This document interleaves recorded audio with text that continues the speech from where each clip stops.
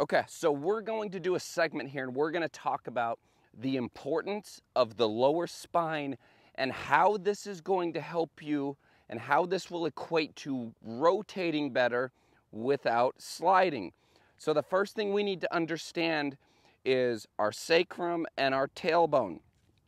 So if you look at this, this would be me It'll, if I had a tail right here, so I'm elongating this.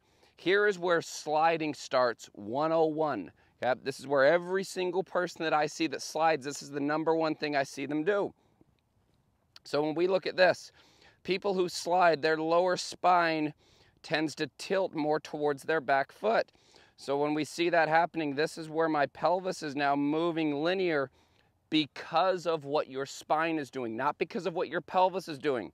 See, I can go move linear and I can turn still, but this is not a good spot because now I'm gonna have to slide to get back into impact. That's gonna be changing my upper body location, which is going to affect contact and low point.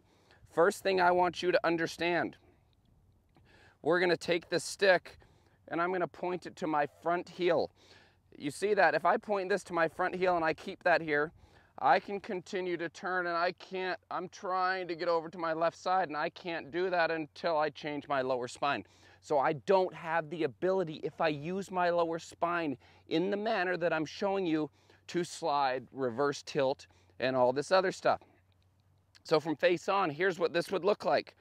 Boom, I'm turning that to my lead heel. I'm continuing to turn and this is what's keeping me centered and it's also creating a massive turn in my lower body. This will equate to speed and this will equate to rotation.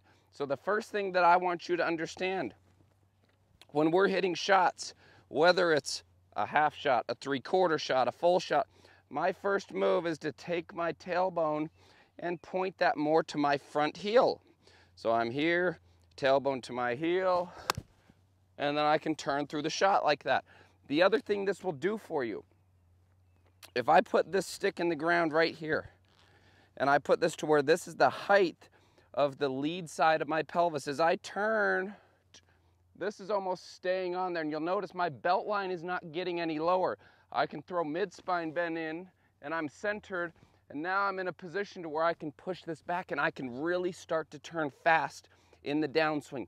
This all has to do with how you operate and use your lower spine. So get a stick in here, Put it on your front hip. And I don't want you tilting into it. I don't want you moving off of it. I want you to keep that. So as I'm turning my tailbone to my left heel, creating a big turn, this is still just on my left side. And this would be the position that I'm in as I'm moving from P1 all the way up to P4. Your lower spine is huge. We'll do another video where we're going to detail how you can use that in your downswing to equate to more speed and a lot more rotation.